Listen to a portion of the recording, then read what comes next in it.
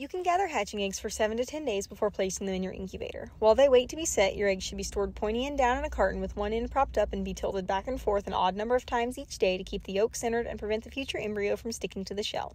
Your hatching eggs can be safely stored as low as 55 degrees Fahrenheit and up to room temperature. Eggs should not be washed or refrigerated prior to incubation. For the first 18 days of incubation, the temperature inside your incubator should be between 99.5 and 100.5 degrees Fahrenheit. If your incubation temperatures are too low, your chicks will not develop appropriately and will die. If the incubation temperature is too high, the developing chicks may hatch early, experience deformations, or die off before hatch. Your temperature should remain constant through the duration of incubation.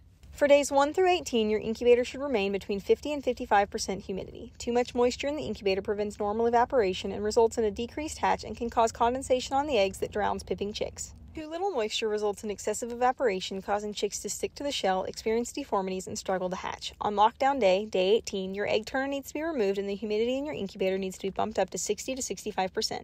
This increase in humidity softens the shell membrane and makes it easier for a chick to hatch. As chicks hatch, you will experience spikes in humidity. This is normal and nothing to be concerned about. Leave your chicks in the incubator for up to 72 hours until they are fluffy and dry and ready to be transferred to the brooder.